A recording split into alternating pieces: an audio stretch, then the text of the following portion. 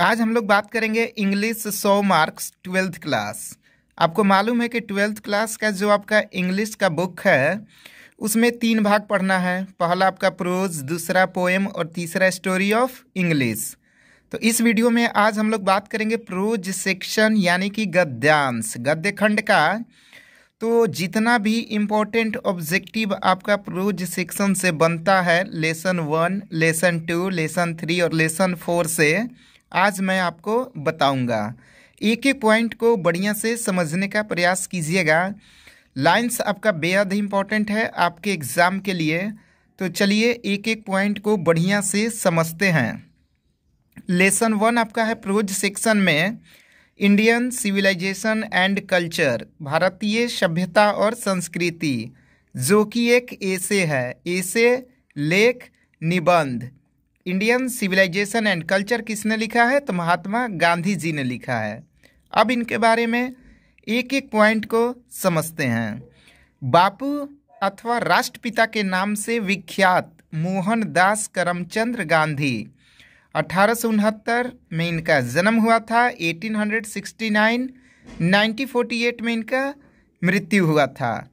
अठारह सौ उनहत्तर में जन्म, मृत्यु इनका 1948 एक राजनीतिज्ञ होने से ज़्यादा एक आत्मिक नेता स्पिरिचुअल लीडर आपका पेपर में यदि पूछेगा स्पिरिचुअल लीडर तो आंसर आपका क्या होना चाहिए? महात्मा गांधी। और इनको किस नाम से विख्यात है? बापू अथवा राष्ट्रपिता के नाम से। दूसरे पॉइंट की तरफ़ बढ़ते हैं।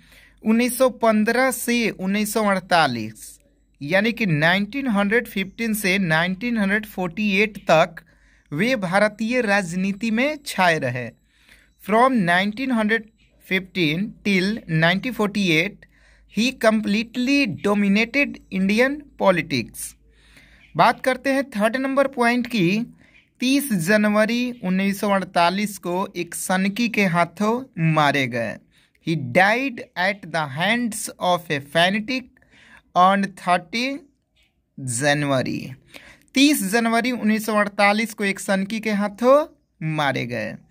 बात करें पॉइंट नंबर फोर की तो उनकी आत्मकथा ऑटोबायोग्राफी का क्या नाम है?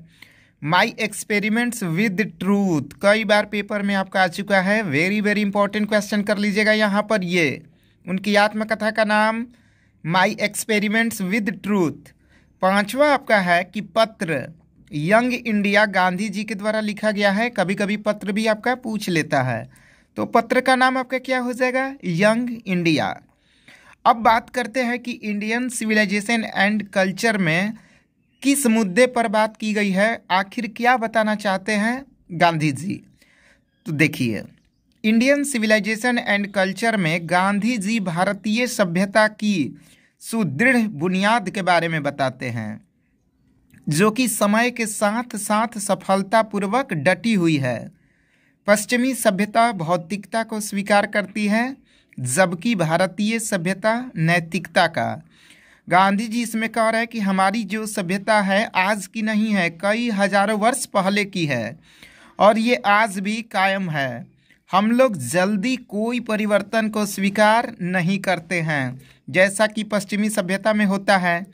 वे लोग भौतिकता को स्वीकार करते हैं, जबकि भारतीय सभ्यता नैतिकता की the western civilisation which has tendency to privilege materiality can cannot match the Indian civilisation that elevates the moral being. Indian civilisation and culture में गांधी जी भारतीय सभ्यता की सुदृढ़ बुनियाद के बारे में बताते हैं, जो कि समय के साथ साथ सफलतापूर्वक डटी हुई है। पश्चिमी सभ्यता भौतिकता को स्वीकार करती है, जबकि भारतीय सभ्यता नैतिकता का। तो ये आपका हो गया lesson one, Indian civilisation and culture का वेरी वेरी इंपॉर्टेंट पॉइंट्स अब बात करते हैं lesson two, Bharat is my home. यह एक स्पीच है। इस पॉइंट को भी आप इम्पोर्टेंट समझिएगा कि भारत इज़ माई होम क्या है। एक स्पीच है।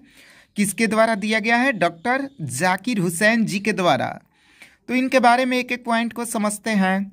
हैदराबाद में जन्मे डॉक्टर जाकिर हुसैन, जन्म आपका अठारह सौ संतानवे 1897 और इनका मृत्यु 1969 उन्नीस सौ उनहत्तर। एक उच्च कोटि के शिक्षाविद, एजुकेशनिस्ट थे। हैदराबाद में जन्मे। जन्म यदि आपका पूछ लेगा तो आंसर क्या होना चाहिए? हैदराबाद। आंध्र प्रदेश में है। डॉक्टर जाकिर हुसैन, इनका जन्म अठारह और मृत्यु कब उन्नीस सौ उनहत्तर। पॉइंट नंबर टू की बात करें तो डॉक्टर हुसैन भारत के राष्ट्रपति उन्नीस सौ सड़सठ में बने 1967 डॉक्टर हुसैन भारत के राष्ट्रपति 1967 में बने। इससे पहले उन्होंने बिहार के राज्यपाल के रूप में अपनी सेवाएँ दी। यदि एग्ज़ाम में पूछता है कि भारत के राष्ट्रपति बनने के पहले वे किस राज्य के राज्यपाल थे तो आंसर आपका होना चाहिए Bihar. Earlier he had served as the governor of Bihar point number four Bharat is my home उस भाषण का अंश है। जि उन्होंने उन्नीस सौ सड़सठ में राष्ट्रपति के रूप में शपथ लेने के बाद दिए। भारत इज़ माई होम, उस भाषण का अंश है जो उन्होंने उन्नीस सौ सड़सठ में राष्ट्रपति के रूप में शपथ लेने के बाद दिए। ठीक है? Bharat is my home is an extract from the speech he gave in 1967 after taking the oath as president जब ये राष्ट्रपति पद की शपथ ले रहे थे तो इन्होंने अपने भाषण में ज़िक्र किया था, Bharat is my home, Bharat मेरा घर है। भारत के राष्ट्रपति के रूप में अपने प्रथम भाषण में डॉक्टर हुसैन जी ने भारतीय संस्कृति की संपूर्णता की सेवा करने की शपथ ली थी। तो ये हो गया आपका लेसन टू से जो भी इम्पोर्टेंट आपका पॉइंट बनता है, वो मैंने आपको बताया। लेसन थ्री की बात करें, a pinch of a snuff, आपको मालूम है एक स्टोरी है? किसके द्वारा लिखा गया है? मनोहर मालगोनकर जी के द्वारा। इनकी जन्म की बात करें तो उन्नीस सौ तेरह। अब पॉइंट नंबर वन की बात करें तो Manohar Malgonkar is a well known novelist and short story writer very very important double mark कर दीजिए। Manohar Malgonkar is a well known novelist and short story writer यानी कि नॉवलिस्ट के साथ साथ क्या थे? लघु कथा लेखक भी, जिनके नाम से 25 पुस्तकें प्रकाशित हो चुकी है 25 बुक्स तीसरे पॉइंट की बात करें, इनकी महत्वपूर्ण रचना का ट्रिक। तो ध्यान से सुनिएगा वो ट्रिक, आपको बिल्कुल याद हो जाएगा। मुंबई का एक राजकुमार जो गंगा नदी के किनारे बैठकर ड्रम बजा रहा था। मुंबई का एक राजकुमार जो गंगा नदी के किनारे बैठकर क्या बजा रहा था? ड्रम बजा रहा था। तो मुंबई से याद रखिएगा, Bombay beware the princes, Rajkumar bend in Ganges, distant drum. ये ट्रिक आपको एक अंक ज़रूर दिला देगा। मुंबई का एक राजकुमार जो गंगा नदी के किनारे बैठकर ड्रम बजा रहा था। Bombay beware the princes, a bend in Ganges, distant drum. अब बात करते हैं कहानी की। देखिए, जब भी आप कहानी पढ़िएगा तो पूरी कहानी पढ़िएगा कंप्लीट, क्योंकि क्वेश्चन आपके बीच से भी पूछे जाते हैं। और जब आप ऐसे पढ़िएगा, कॉमेडी पढ़िएगा तो बायोग्राफी अच्छी तरह से पढ़ लीजिएगा। तो आपका तीन जो है, आपका ग्यारह लेसन में स्टोरी है, ध्यान से सुनिएगा। एक अंक ज़रूर मिल सकता है आपको। A pinch of a snuff the artist the earth ये तीनों आप नोट कर लीजिए। A pinch of a snuff the earth the artist अब देखिए कहानी के जो बीच का भाग है, उससे मैं क्वेश्चन आपको बता रहा हूँ। वेरी वेरी इंपॉर्टेंट लेखक के मामा का नाम नानू काका। लेखक के मामा का नाम यदि पूछता है ऑथर्स मैटर्नल अंकल नेम तो आपका आंसर क्या होना चाहिए? नानू काका। और ये दिल्ली गए थे दो तीन दिन के लिए, ये भी पॉइंट आप लेखक के मामा का नाम नानू काका और ये दिल्ली गए थे दो तीन दिन के लिए। पांचवा पॉइंट आपका है कि लेखक जब टोकरी के साथ स्टेशन पर निकला तो किससे टकराया था? यदि आपने कहानी पढ़ा होगा तो ठीक है, नहीं पढ़े हैं तो समझ लीजिए। भारी भरकम मारवाड़ी औरत से टकराने के बाद की घटना। तो एक पॉइंट तो आपका हो गया, किससे टकराया? तो भारी भरकम मारवाड़ी औरत। और इसके बाद की घटना क्या हुआ कि टोकरी में से आपका म्याओ म्याओ की आवाज़ आया था। यानी कि आप दो दो पॉइंट एक क्वेश्चन में लेखक को स्टेशन के बाहर क्या, दिए नानू काका तो टोकरी टोकरी लेने के बाद किससे टकरा गया? भारी भरकम मारवाड़ी औरत से। उसके बाद की घटना म्याओ म्याओ की। नानू काका तीसरे दर्जे के टिकट पर दूसरे दर्जे में यात्रा किए, ये भी पॉइंट वेरी वेरी इंपॉर्टेंट है। नानू काका तीसरे दर्जे के टिकट पर दूसरे दर्जे में यात्रा किए। सातवां पॉइंट माँ के ज़ोर देने पर लेखक दो दिन की छुट्टी लिया। वेरी वेरी इंपॉर्टेंट क्वेश्चन माँ के ज़ोर देने पर लेखक कितना दिन की छुट्टी? दो दिन की छुट्टी लिया और दोपहर के बाद नानू काका को नॉर्थ ब्लॉक ले गए। वेरी वेरी इंपॉर्टेंट क्वेश्चन आपके लिए। माँ के ज़ोर देने पर लेखक दो दिन की छुट्टी लिया और दोपहर के बाद नानू काका को नॉर्थ ब्लॉक ले गए।